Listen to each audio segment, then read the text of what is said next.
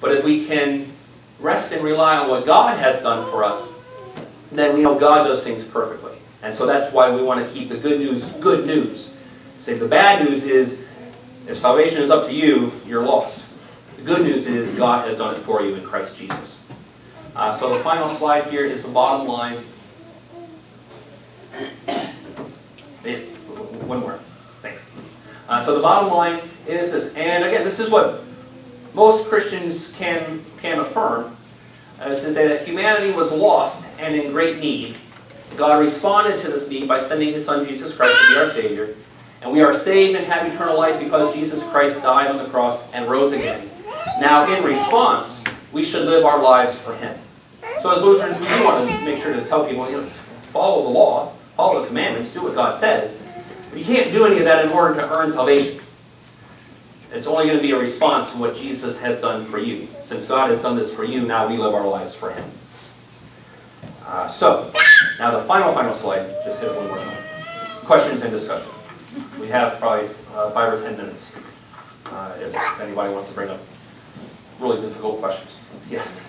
How come um, some people do communion every Sunday and some people do it like once a? Okay, yeah, so how, how often uh, do different churches take communion?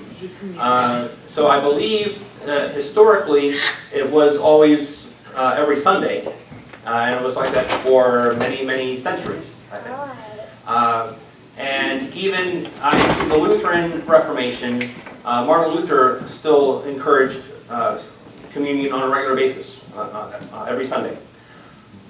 So it was more, as you get into the 1600s and 1700s, people started thinking, well, if you do it every week, then you won't really appreciate it. So if we do it less often, then you'll appreciate it more when we actually do it.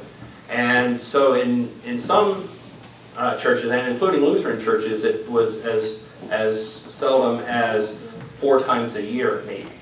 Um, and, and then there's other Protestant denominations where I think maybe they do it once a year, and they think that's good enough. Jesus said, do this in remembrance of me, but he didn't say how often to do it. But the, the example of the early church seems to be often. Uh, and, uh, and so, so Lutheran church made it back to um, at least once a quarter, not just once a year. And then it was uh, once a month. Uh, it- within the past hundred years or so, got up to once a month. And then typically in the 20th century, it was twice a month, is what you would see at most Lutheran churches. And there is a movement afoot to restore that to every week. Uh, so there's, there are Lutheran churches that will have communion every single week. Uh, we actually have communion here at Our Savior every single week, just not at every single service. So if you did want to have communion every week, then you could find the service where Holy Communion is being offered. That's a good question. Uh, so uh, the Roman Catholics, uh, you probably know, will have it every week. Uh, Doug? There's some distinct differences within the Lutheran church too, right, especially like with ELCA. Sure.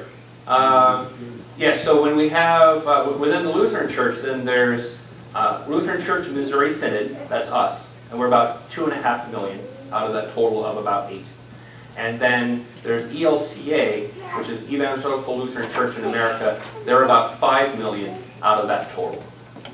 And uh, the, the difference between uh, these two church bodies really comes down to that, it's that question of authority again. Uh, when we go back to say, what is your source of authority?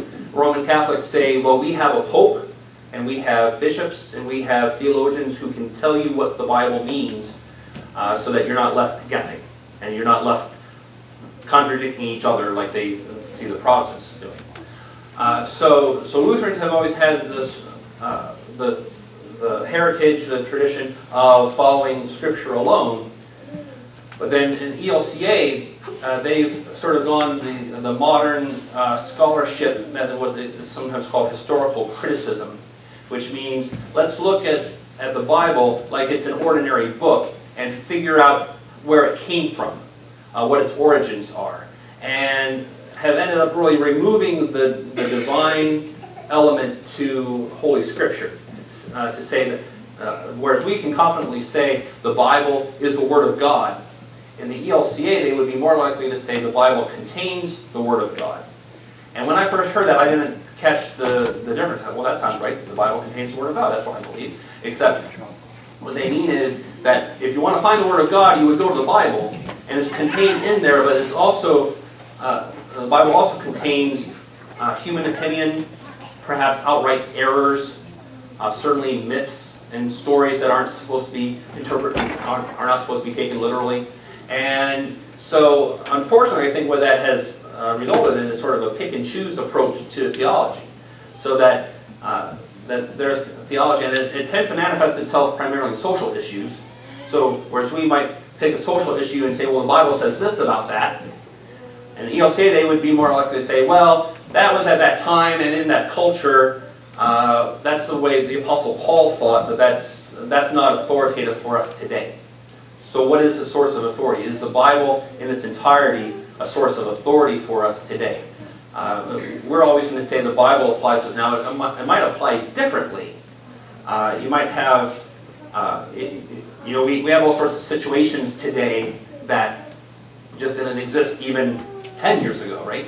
Um, as technology increases and, and that sort of thing, our world is a very different place than it was 2,000 years ago. But we're still going to take the Word of God as the Bible and apply that to our current situation. Uh, whereas, uh, uh, whereas in ELCA, they would be more likely to say, well, that's not relevant at all. The, the Bible says that, but we're not even going to consider that because, because that's an outdated notion. Uh, and so that, that's really, that's, that's where the difference comes, and then it, it manifests itself in, in different ways, uh, mostly social issues and positions that they would take. Uh, other questions? Do we have a person, not like a is there a head person of like Missouri Synod? In the Missouri Synod, uh, our organization uh, is really very congregational in its, uh, in its polity, meaning that each congregation is pretty much independent. Uh, that, that's something that we share uh, with the Baptists, actually. They're very independent that way, whereas the Roman Catholic Church is hierarchical, meaning there's a pope, and then there's archbishops, and there's bishops, and then there's uh, uh, the, you know this whole structure of the, these levels. Uh, and actually, ELCA, because of their European heritage, they follow the model of the bishops. Uh, in Missouri Synod, we are congregational, and then we formed an alliance, really, of congregations. Uh, and that's what we mean by the word synod. So the word synod is this organization of congregations, and we elect uh, officers who are going to help us work together. Uh, uh, essentially to do things together that would be difficult or impossible to do alone. Uh, when we first started, we, we saw we, we want to be able to train pastors, have a seminary, and we want to be able to send missionaries to the foreign mission field. And those things are difficult for an individual church to do, but if we pool our resources, we can do that together. And so we do elect a synod president uh, every three years at our national convention. Uh, I was our delegate uh, for our area of New York um, this past summer at the convention in Houston, and we elected Matthew Harrison as the new president. He replaced President Gerald Kieschnick. Uh, so, so there is uh, a Synod president, and then we have district presidents as well. There's 35 geographical districts. Uh, Eastern New York is the Atlantic District, and so we have a district president who's uh, David Benke, Pastor David Benke. Uh, but uh, the, role of these presidents tends to be more advisory, uh, more than authoritative. They, they can't say, you must do this, uh, or, move me from here to another parish. Then uh, that's more like the hierarchical system, and that's not what we have in, in the Lutheran Church in Missouri Synod.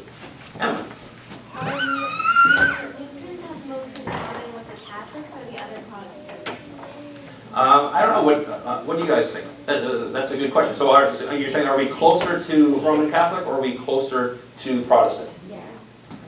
I don't know, what do you think? Should, should we put it to a vote? We're, we're, we're in the middle. And, and actually, I'm I'm glad you asked that. And, and, you know, this is my daughter, but she's not a plant.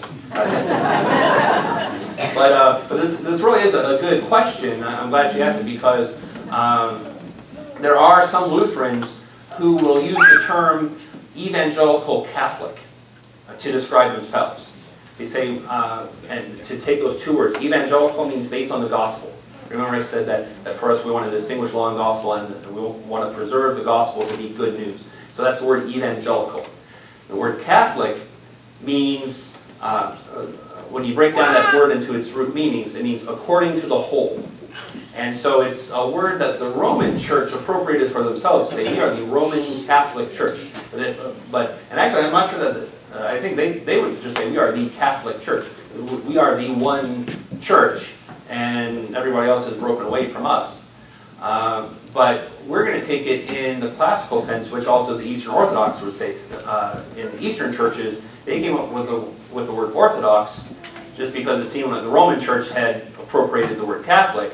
But in the creeds, when we say, I believe in one holy Catholic and Apostolic Church, that original word is Catholic, meaning according to the whole, the, the universal of what all Christians believe.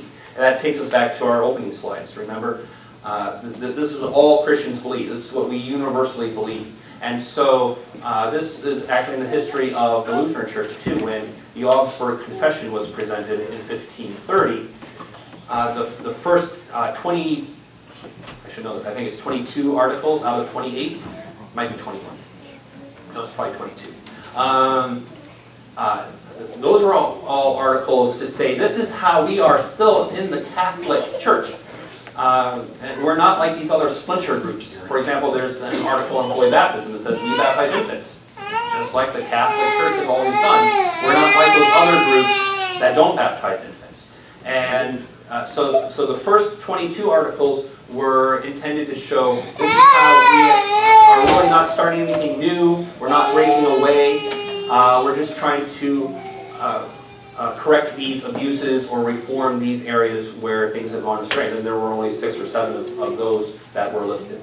Uh, so evangelical Catholic would be a way to describe us. We, we want to be as much as, as possible in the, the, the one church body of Christ, believing what all Christians believe, but we, we need to make sure that we're focusing on, on the gospel. So we're evangelical. The gospel, the good news to say we can't do it, that's why God had to do it for us. Uh, I think that's probably a pretty good note to end on. Uh, speaking of notes, we're going to have music.